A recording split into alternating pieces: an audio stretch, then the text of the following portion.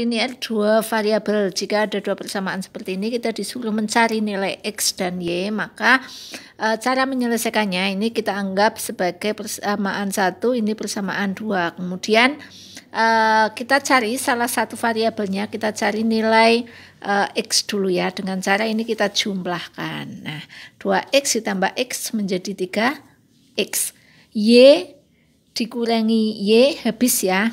13 ditambah 5 berapa?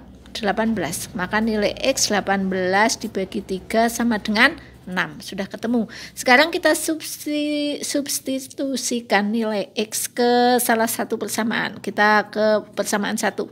Ke persamaan 2 juga bisa. Ya, sama saja. Nah, ini 13.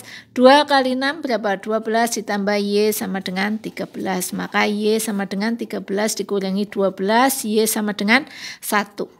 Terus kita buktikan sudah ketemu nilai X dan Y.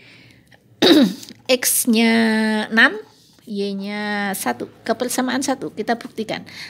Tadi berapa? 2X ditambah Y sama dengan 13. Maka 2 kali X-nya kita ganti dengan 6 dan Y-nya kita ganti dengan 1. 2 kali 6, 12 ditambah 1, 13. Berarti betul. Kemudian ke persamaan 2. X min Y sama dengan 5. X-nya 6, Y-nya 1. 6 dikurangi 1, 5. Betul, selesai.